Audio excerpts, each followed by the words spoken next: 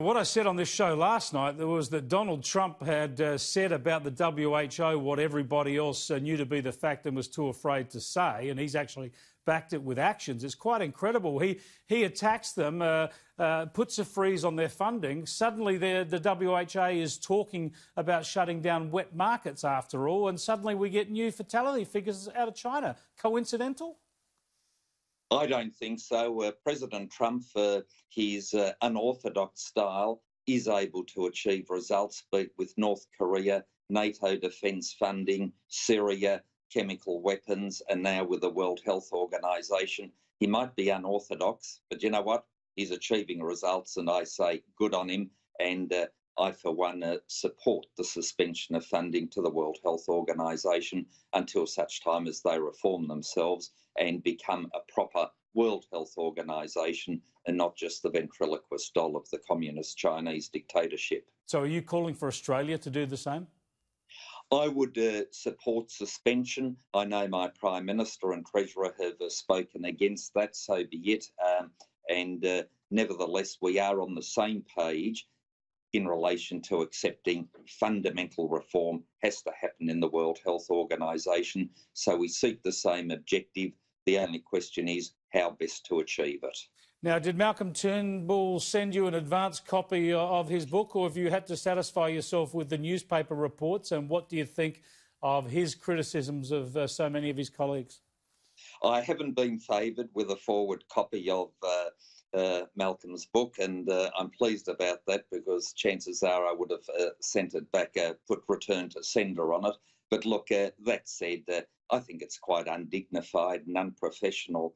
You see the books written by Prime Minister Howard, Treasurer Peter Costello, Deputy Prime Minister John Anderson, and you see statesmanship throughout those books. The excerpts that we've had from Malcolm's book suggest uh, vindictiveness, um, trying to get even, salacious gossip, uh, breaking confidences.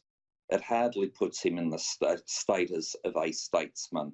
It uh, really is disappointing for Australia, but I think in particular for Malcolm himself, a very disappointing uh, production. You don't think, having been through what he went through and having been brought down in the way that uh, he was, he's got the right to uh, correct the record or put the details out there, the record out there as he sees it? Oh, look, uh, everybody in this country has the right to do what they want, just as long as they don't defame people. So, uh, good luck to Malcolm doing what he's doing. But there is a complete lack of self awareness here. Uh, look, was he brought down? Yes. I would say, by he was the architect of his own demise uh, by foolishly calling that leadership spill. Um, you always keep people guessing as to how much support you may or may not have.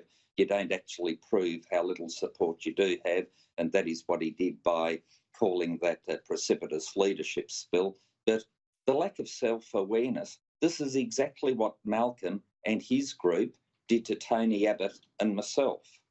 That's, a pretty, that's a pretty key point. What about setting up the Guardian Australia? What about a Liberal leader setting up this green left uh, publicity machine? Chris, it would be like Adam Bandt helping to set up the Spectator.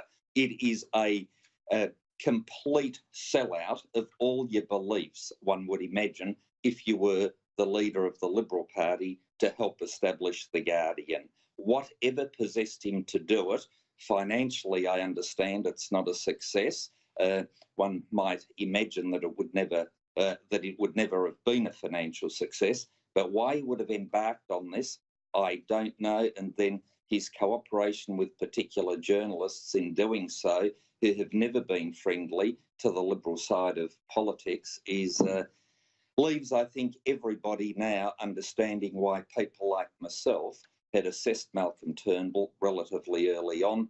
And uh, whilst I got a few brickbats uh, in the past in relation to my commentary on Malcolm Turnbull, I don't think anybody these days would be critical of my assessments. And I think my assessment these days is completely vindicated, not by anything I've said, but everything that have that has come out of Malcolm Turnbull's mouth and out of his pen. Well, I've got to say, I got to read today the section of the book that deals with the Godwin Grech affair. Now, I was his chief of staff then, and I know you and Malcolm worked very surreptitiously together on that whole episode.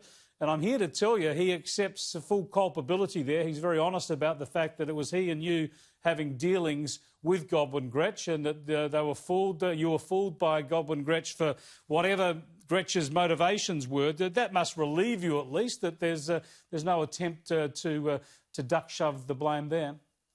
Oh, well, Chris, I'm very happy that Malcolm's done that because uh, um, I was, if you like, the counsel acting on instructions, and I had advised Malcolm that we should not go after Kevin Rudd because I did not think there was the sufficient evidence there because there was no actual email. We had been provided with other emails relating to Wayne Swan. I thought that was a very strong case and was worthy of prosecution at the uh, Senate hearing. But uh, with Kevin Rudd, I had counselled against it. And I then was the first out of the leadership group to uh, indicate that I thought that the email was, or the alleged email that we'll have to never seen, was we'll a fake. Well, I, I, remember you saying that. I was on the call. That was the next yeah. day. Uh, we'll, we'll, we'll, go through all this in detail one day. But uh, as yeah. I say, Malcolm Turnbull's been very forthright about that.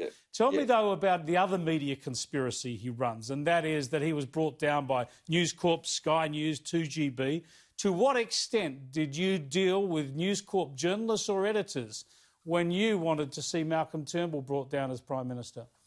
Oh, well, look, uh, no, nothing of the like occurred, and it just seems like a rerun of Kevin Rudd's allegations. It's uh, quite sad when people cannot engage in sufficient self reflection and understand uh, the reason for their downfall, and therefore they seek to blame everybody else other than themselves. And sadly, that's what Kevin Rudd has done. Similarly, Malcolm Turnbull's doing it.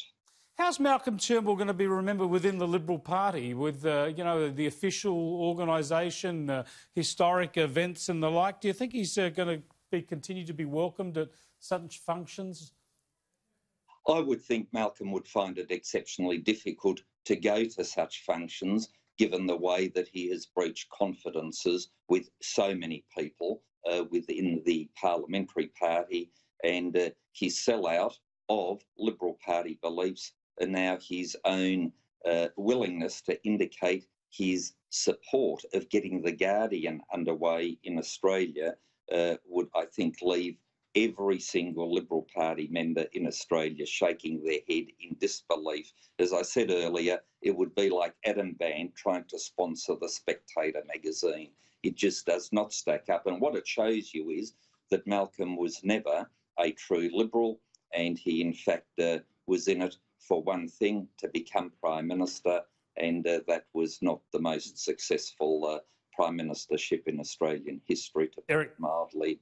Eric Abetz, thanks so much for joining us.